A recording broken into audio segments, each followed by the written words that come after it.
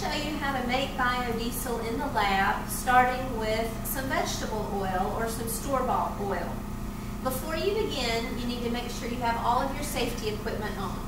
So I'm going to put on my goggles. You need gloves because the methanol we're going to be using is poisonous.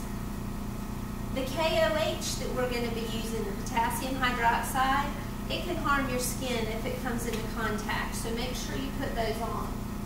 And then finally, you need a lab coat or a lab apron.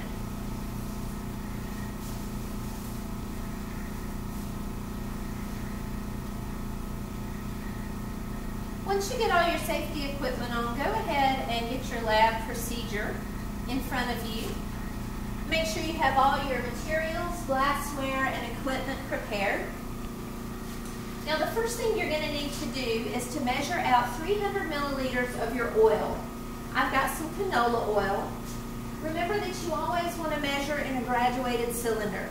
So pour 300 milliliters of your oil in the cylinder and then you're going to transfer it to a large beaker, at least 500 milliliters.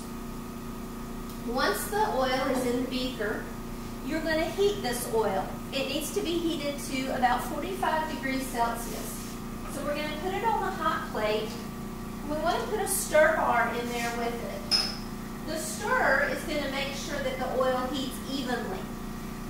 Now to keep track of your oil, you want to put a thermometer in there with it. And it's going to sit there and stir until it comes to the correct temperature. You want to keep this reaction between 40 and 50 degrees. If you go much above 50 degrees, the methanol that's going to be in the reaction is going to evaporate and you're not going to get any product. So don't let it get too hot. The next step is to get 60 milliliters of methanol. Now remember, methanol is poisonous, so make sure your gloves and your apron's on during this step. You're going to measure 60 milliliters of methanol in a graduated cylinder and you're going to put it in an Erlenmeyer flask. Once you've done that, you've got to add some potassium hydroxide to this methanol. The potassium hydroxide is the catalyst for the reaction. Your electronic balance. Make sure you use a weighing boat and zero the balance before you begin. You're going to measure out 6 grams of this potassium hydroxide into here once you have it measured out, you're going to slowly add it to the methanol and swirl this until it all dissolves. This is now called methoxide, and you are going to add the methoxide to the oil once it has warmed up. Now at this point in the procedure, I am all the way down to step number six. Slowly add the methoxide solution to the oil. You want to just take this and pour it directly into your oil beaker here. It says to add it slowly because you don't want a large change in temperature as you're adding this cool liquid to this warmer oil. So just take your time and add it slowly. Once you do that, you're going to be able to let this sit for at least one hour. It's going to continue to stir. When the reaction has finished, you're going to take your product, and you're going to pour all of this into a separatory funnel.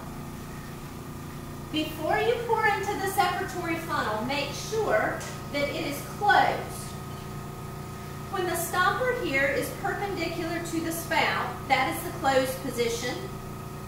Parallel to the spout would be the on position. Don't pour it this way. So I'm going to hang the funnel here in the rack. Use the magnet holder to keep the stir bar from pouring out. You're going to carefully pour it all in there. And your product is going to sit here and separate. Overnight is ideal, but if you don't have that long, just let it sit for a couple of hours. And when you come back, hopefully you are going to see two layers. There's going to be a biodiesel layer and there's going to be a glycerin layer. And that's what you need to know before you start making your biodiesel.